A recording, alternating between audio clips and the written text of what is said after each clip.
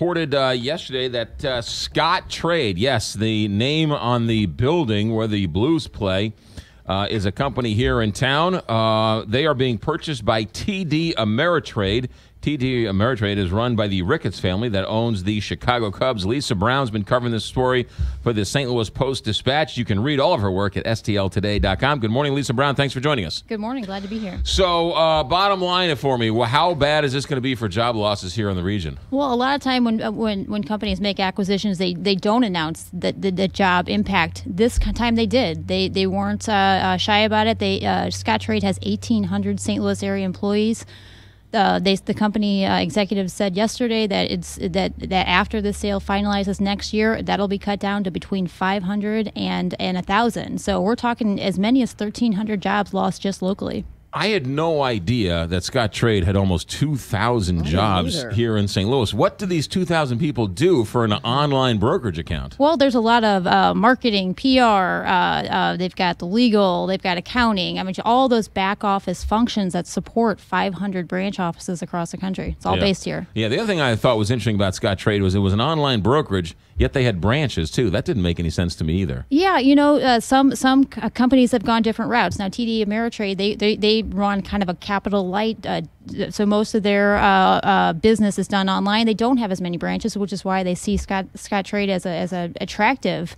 Uh, acquisition. When I talked to TD Ameritrade CEO uh, uh, yesterday, he said that he liked that Scottrade had those those branches. He, he when people have are investing their, their money in, in, in talking about their wealth management, sometimes they want to go in and talk to somebody face to face. Uh, TD Ameritrade, are they based out of Omaha? Yes. Okay. Are they going to stay based out of Omaha? Yeah, the headquarters is going to be uh, is going to stay in uh, in Omaha. They do have uh, offices across the country. Unlike Scottrade, which had most of its back office functions here in St. Louis, Right. uh, TD Ameritrade has offices in New Jersey and Dallas and Chicago. So they said that it works with the way they operate to have a big call center here. That's kind of how they like to run their business. Do you think there's any chance that some of those jobs that'll be lost here could go to Omaha then, or? Uh, it's possible, yeah. So those functions probably will go to, to. So they talked about 450 million dollars in synergies. Those synergies means when they have duplicative services, they don't need to have as many, you know, attorneys and, and, and back office functions. Th- those jobs will be handled by uh, out of Omaha. Lisa Brown, why did this happen and why did it happen now? Well, there's a lot of competition in this industry. You've got so these are the guys that that you can uh, uh, self-directed investing. If you want to go and- get uh, buy stock in a company, you can just go online and pay seven seven dollars through Scottrade or nine ninety nine through TD Ameritrade. Go online, open account, and and um, uh, and, and and do it yourself.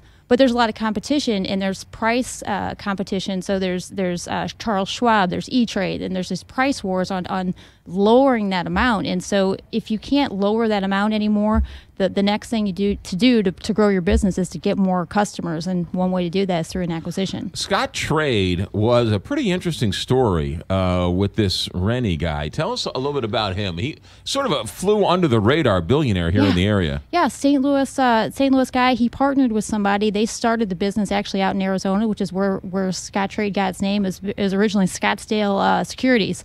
Um, the the partnership ended, and he he brought the court. He bought uh, he he opened an office in, in St. Louis and grew grew it from here. So it's really a, a homegrown St. Louis a- story. Uh, Was he rich before he started it, or wa- did he get rich by by Scottrade? Well, our reporter Jim Gallagher's got a story in the paper today, just talking about uh, he was uh, uh, an engineer, uh, engineering uh, student, and he just uh, I think he started out at Edward Jones as an intern and just worked his way up from there. a great It's American going to be story. a very, really, very rich man. Yeah. So, what will his new role be then? He's going to be a board member, so he's going to. They uh, when I talked to uh, TD Ameritrade CEO uh, Tim Hockey yesterday, he talked about how Roger Riney is going to be um, really uh, uh, important in, in running and in integrating this business and, and being a board member from from here on. Will the Scottrade Center now change its name? Yeah, that's going to change. So it's still, this is there's a lot of uh, regula- regulatory approval that needs to happen. It's, it's not expected to uh, to to get approved until uh, next September.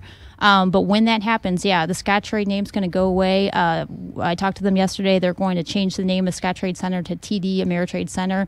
That contract runs through 2021. Right. So there could be, you know, who knows what's going to happen after that. Yeah. Overall, there's been a lot of mergers and acquisitions, and the Post Yes. has an interesting story, or a, I guess, a pop-up uh, Yeah. story about all the different corporations Yeah. that have left. Is this Are we to see more of these over the next couple of weeks and months? You know, this is just happening um, everywhere. So in any city, it's it's not it's not just St. Louis. Uh, there's, there's just a lot of consolidation in lots of industries. That's how how how business grows. Um, so yeah, we have seen a lot of consolidation in St. Louis. A lot of well-known company names have gone away, and but there's also been acquisitions. Stifel Nicolaus, based here in St. Louis, they're making they're acquiring uh, companies across the globe. So it's not just one way. And and St. Louis is a pretty big financial service sector hub, is it not? Yeah, we've got we've got so many uh, financial services jobs. We've got Wells Fargo Advisors, Edward Jones, Stifel. There are, and when I talked to somebody yesterday at St. Louis at the St. Louis Economic uh, Partnership, they talked about how they're hoping that that center, that hub of financial jobs, will convince TD Ameritrade to maybe keep more jobs here because the the, the talent base is here. Yeah. Uh, Lisa Brown, STLtoday.com business uh, reporter. Thanks for coming in, and we'll have you on much more than every other four years. How all about right, that? I appreciate it. Thanks You very it. much. Lisa Brown, read all of her stuff about the TD Ameritrade buyout of Scottrade uh, here in town at STLtoday.com. 726.